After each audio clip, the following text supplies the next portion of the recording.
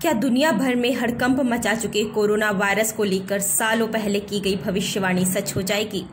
पिछले कुछ दिनों से एक किताब के बारे में सोशल मीडिया पर जानकारी सामने आ रही है। कहा जा रहा है कि एंड ऑफ़ डेज़ नाम की किताब में कोरोना को लेकर सालों पहले भविष्यवाणी कर दी गई थी। इसमें कहा गया था कि पूरा विश्व किसी गंभीर बीमारी की चपेट में आएगा। जैसा इस किताब में लिखा है, वैसा ही अभी हो रहा है। अमेरिकी लेखक डीन कुंट्स की किताब में खतरनाक वायरस को लेकर 40 साल पहले चेतावनी दी गई थी। अब एक और किताब में वायरस के बारे में बताया गया है।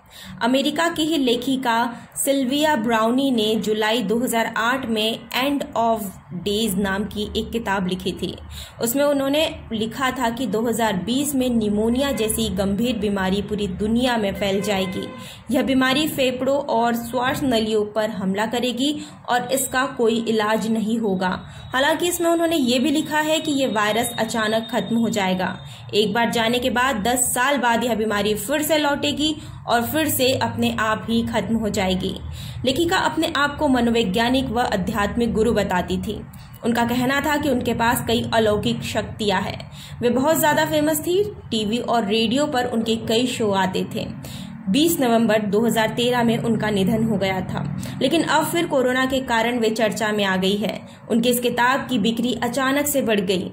सिल्विया ब्राउनी के बेटी का कहना है कि किताब की बिक्री इतनी हो रही है कि हमारे पास ही अब स्टॉक नहीं बचा है।